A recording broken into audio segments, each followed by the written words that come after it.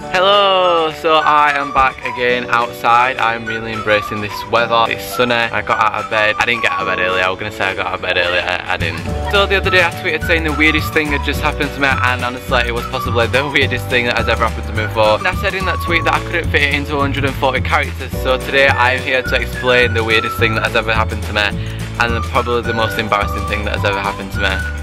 Enjoy!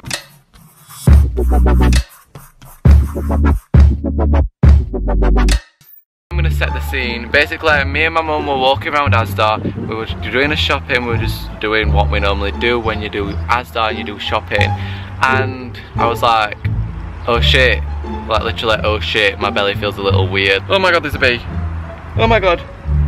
Before we carry on, I just want to point out that I have a massive like phobia of public toilets. And there's something about public toilets that I'm like just a little uneasy with like I can't do my business in a public toilet. It's like some sort of stage fright. I just really don't like public toilets so the thought of having to go to a public toilet when my belly felt this weird. I was like hmm I'm just gonna wait. Nope nope no I was not gonna wait. Little did I know that oh shit was ready to be like oh out let's get it out. And I had to go to the public toilet.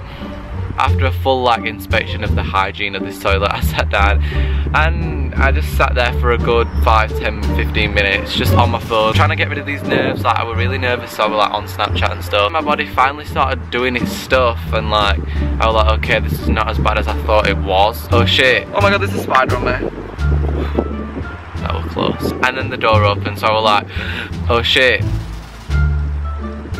trying to be all secret uh, and trying to be quiet like I weren't even in this stall. I even lifted my feet up so the person couldn't see my feet as they walked past. I was like super spy shit and I was like hiding from just random people in the toilet.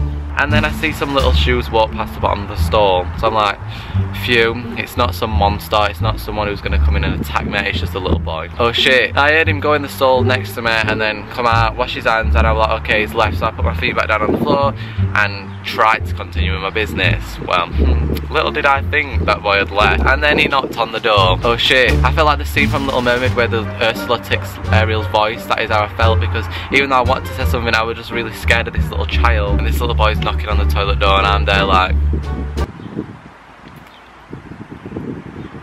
So at this point I'm thinking, okay, this boy really wants to get in this stall, like what does he want? Is he just checking to see if like someone's in here? Does he think I'm his dad? Like I'm not daddy, so bye child. But what I did do to try and give this boy a signal to let him know that someone was in this stall is I started rattling the toilet paper holder like I was push, messing around the toilet paper in the metal holder thing and it was making a lot of noise so you knew that someone were in. So I'm there knocking it around, the boy still stood there and then I'm like shit there's no toilet roll in here anymore.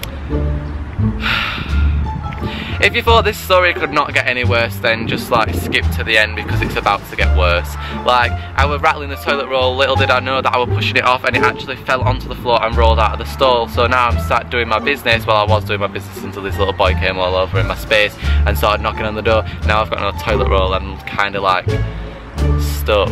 Oh shit, I'm kinda stuck shitting in a public toilet with a little boy watching. Oh shit, do I flush myself down the toilet? Like, do I get in the toilet and flush it? Like, will I fit through the pipes? All this stuff's going through my head and I'm like, oh shit. I'm sat here thinking, okay, is that boy gone? Like, I entered the door go, but his feet aren't there anymore. Like, what am I gonna do? So there I am with my limb hanging out of the stall, trying to hook this toilet roll in, and then I heard the boy laughing. He's still in the bathroom. Like, what? What the fuck? This boy's still in the bathroom.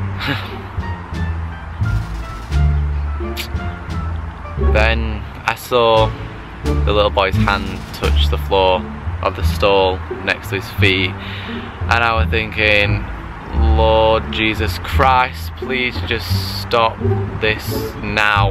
Like I've had enough. Like I will not do things bad. I will be a good person. I'm already gonna help like is this just a test this just a trial of hell? Like, please just get me out of this situation. thinking, what could this boy possibly want? Like, he's been knocking on the door, he's been laughing at me, he's just basically mocking me, and now he's put his hand on the stall and it looks like he's about to crawl under. And then he does. That is literally what he does.